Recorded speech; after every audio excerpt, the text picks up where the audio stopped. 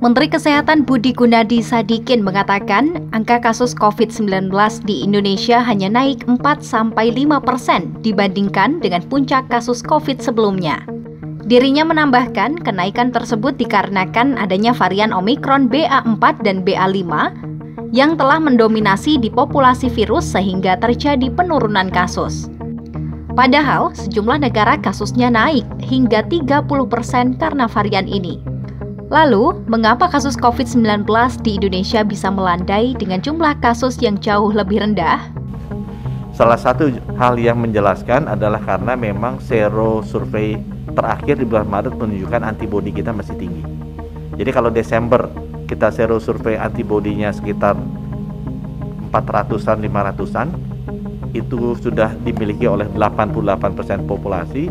Di bulan Maret kemarin kita sero survei 99% populasi sudah memiliki antibodi di level 3000-4000-an, jadi jauh lebih tinggi. Menkes Budi Gunadi mengatakan dari sero survei pertama kemudian kedua menunjukkan bahwa populasi sudah memiliki antibodi yang tinggi. Dalam konferensi persnya pagi ini, Menkes Budi juga mengatakan sero survei akan kembali dilakukan mulai hari ini hingga satu bulan ke depan. Hal tersebut sebagai upaya pemerintah supaya dapat mengambil kebijakan yang tepat mengenai protokol kesehatan juga vaksinasi.